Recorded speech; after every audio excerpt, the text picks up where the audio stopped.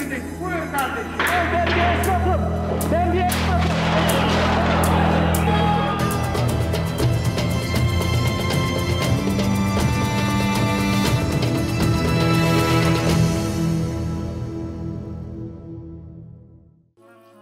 Türkiye'nin en büyük dermatoloğu olarak kabul edilen Hulusi Behçet, 20 Şubat 1889'da İstanbul'da doğdu.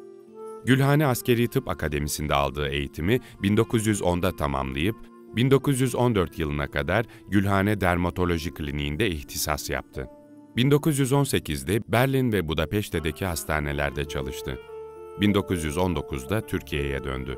1933'te İstanbul Tıp Fakültesi Deri Hastalıkları ve Frengi Kliniğini kurdu ve profesör oldu.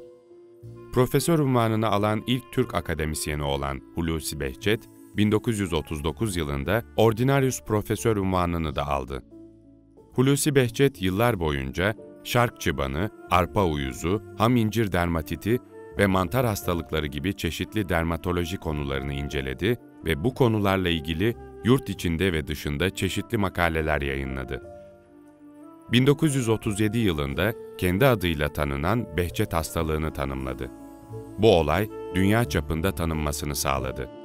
Dünya çapında sayılı dermatologlar arasında gösterilen Hulusi Behçet, 8 Mart 1948'de vefat etti.